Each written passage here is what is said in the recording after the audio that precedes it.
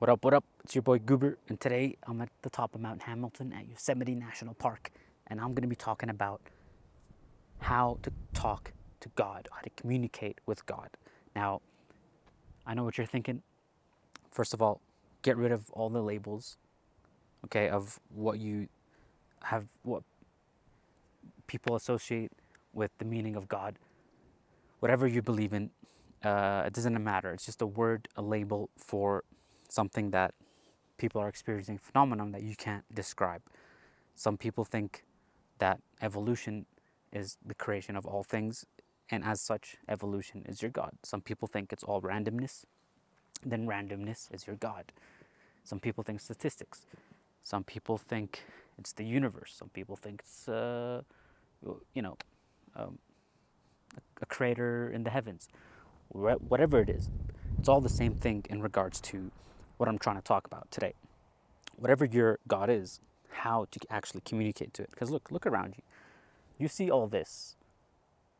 There's got to be something. This is not all just unexplainable. And there's a force of actual creation that made all this, okay? So, how do you communicate to it? You see all these animals here in the middle of nowhere. They know how to eat, they know where to drink, and since day one, they've been struggling and surviving, but they live here and they reproduce. They continue to be inhabitants of this park, of this wilderness. And so do you as a human. So, why is it they're tapped in and you're not? How is it they know exactly where to go for food, uh, who their predators are, how to survive? Like, there's mouse, there's these type of mice under the rocks that come out only when it's cold and then they stay in the rocks at night and they know how to hide from predators, but they can't communicate with each other as in the same way humans write books and pass on knowledge to one another. So how how is it that they can tap into this creative energy or source that tells them what they need to do in order to survive? And I'm going to be talking about how you can communicate with that same force. So, first of all, it starts with massive self awareness. You need to be able to build a connection with your body where you can sense sensations and be able to tell the differences between what certain sensations are. And the key here is to dial in on the part of you that feels pure part of you that is unexplainable. It's deep within your heart or your gut.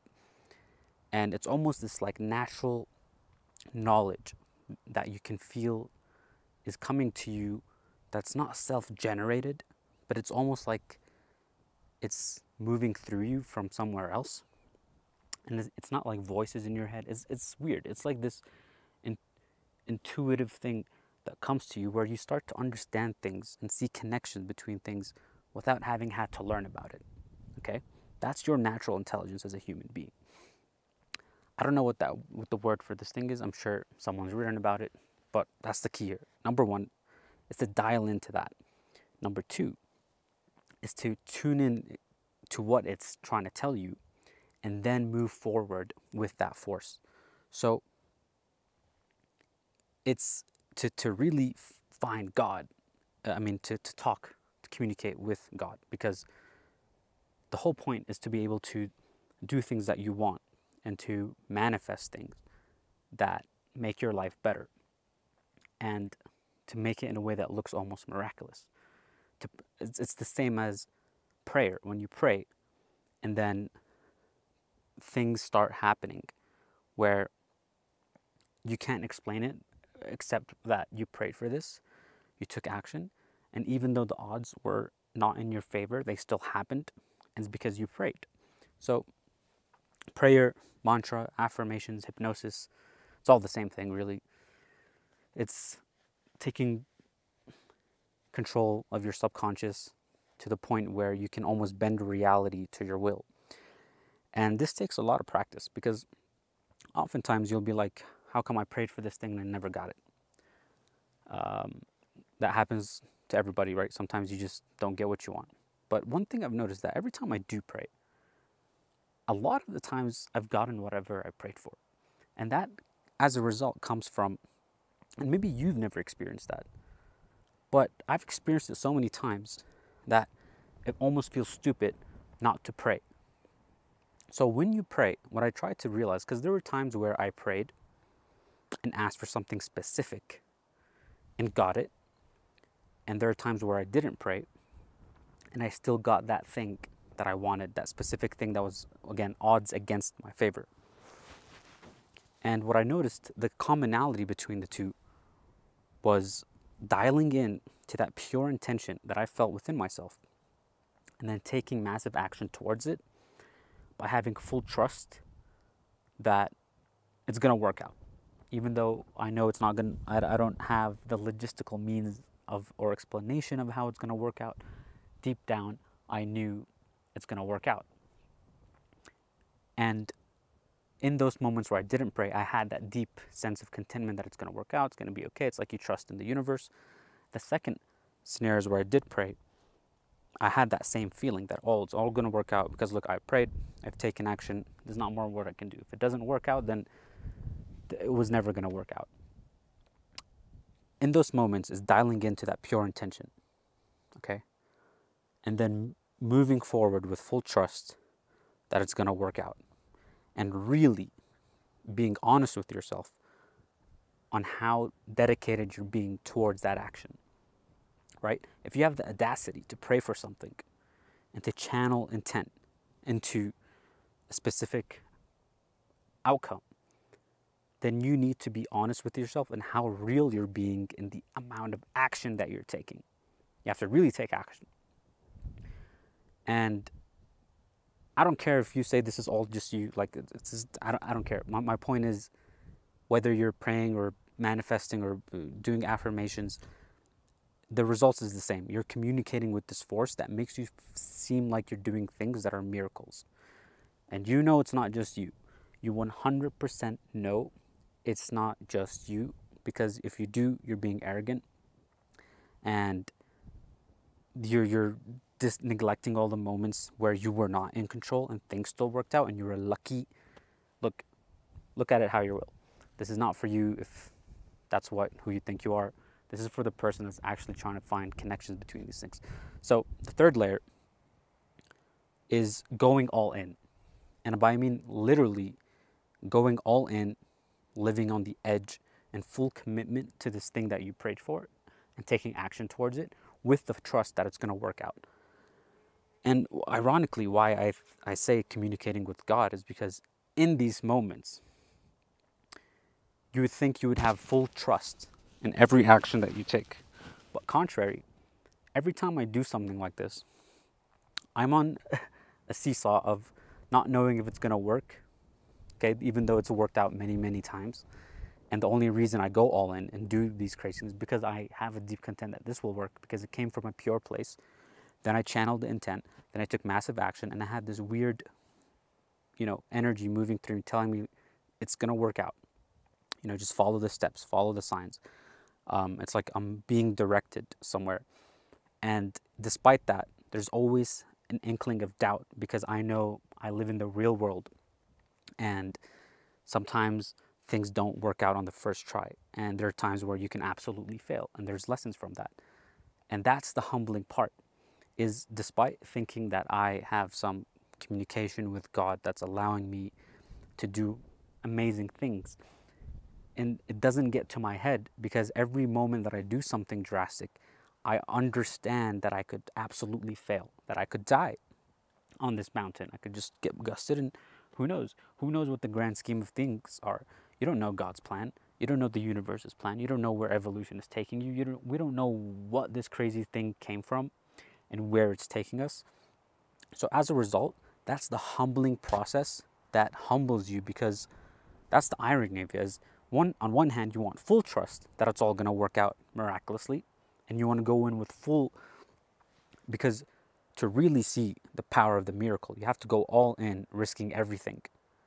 Yet the more you, wins you stack up you have the fear of losing these wins that god gave you in the first place.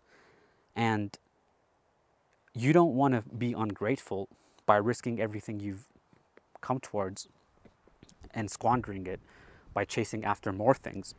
But at the same time, you that is the requirement for creating those miracles, for communicating with God to get what you want by putting everything on the line and going all in.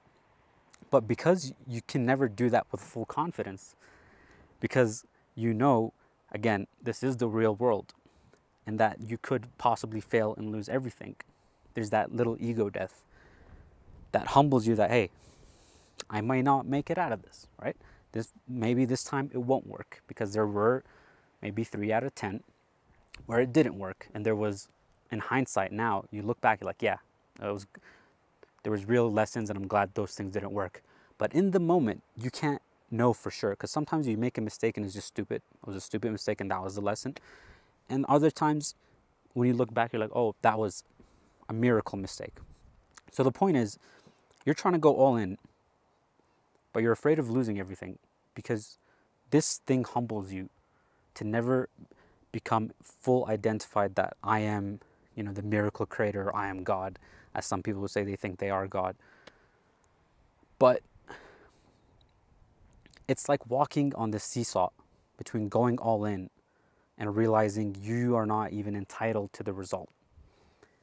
And if you can continue to do this, you create miracles that are so crazy that stretch your reality of what you think is real. At the same time, you're being humbled because you know by living on the edge, you could lose everything. And that when you're putting the odds against you and you're still winning, that it's not actually your actions and that there is a higher power guiding you through this, almost pushing you, guiding you towards your destiny.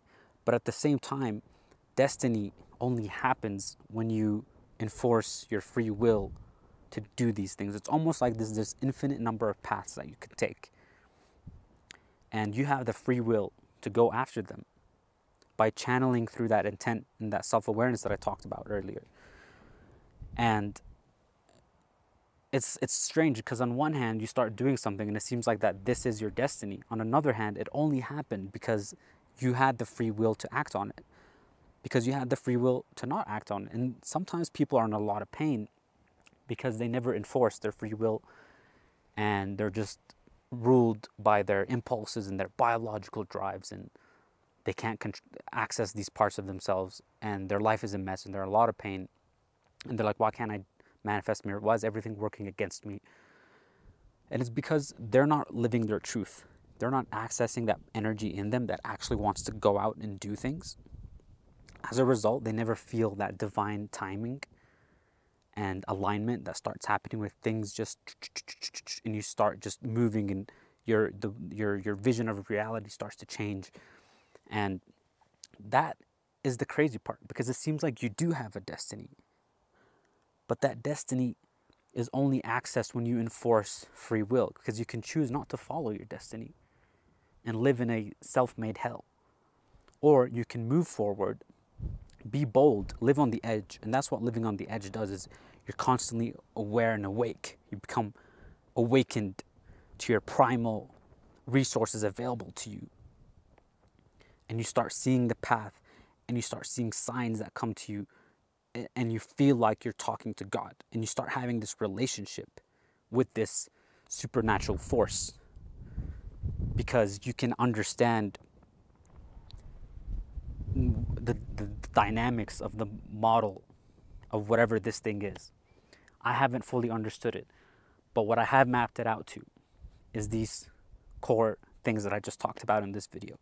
Having the self awareness to channel, to find that pure intent of that energy that wants to move to you. Second is going all in on it and having the humbleness of knowing it may not work out and living on the edge and taking massive action because you had the audacity to ask for this thing from the universe, from God, and then seeing it through to the end and trusting that it's going to be okay. And if you can do this, you will your reality will start to bend. I mean, I'm look look where I am. I've dreamed of this day for a very long time. Okay, ever since I was trying to come to America, I've dreamt of Yosemite. And now I'm here and it's heaven on earth. And it's speaking to me in so many ways of what I had to do to get here and going all in. And I posted a video uh, a week ago about how little money I have left because I'm working on an AI startup that I fully believe in. And I'm communicating with what I believe is God. And I'm going all in on this because I believe that this is the energy where it wants to go. And if it doesn't work out, I also believe that there's something in this experience that is perfect. Maybe I'll end up homeless. I don't know. And if I do, I'll still keep making videos. And then you'll have the critical thinking to see hey, this is cool. and I'd rather just be alive massively. And by being alive, I mean not living in preservation of, you know, my life.